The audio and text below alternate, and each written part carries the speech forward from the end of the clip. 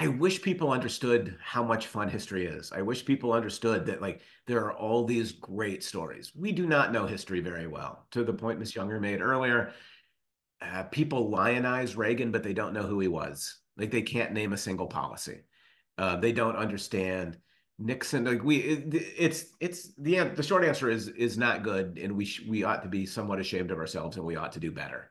Um, it is, I think, not a so it's it's not a surprise or not a mistake that we see a movement to kind of try to limit or police what's taught in history classrooms.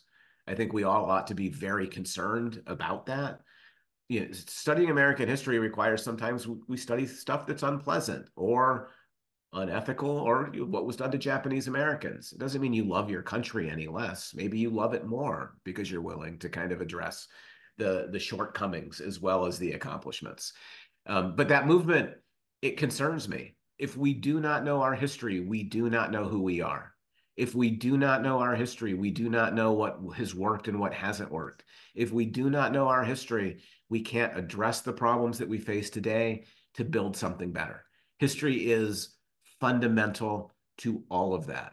And to, to ignore history or to just cling to myths instead of really wrestling with it is to invite continued problems instead of solutions.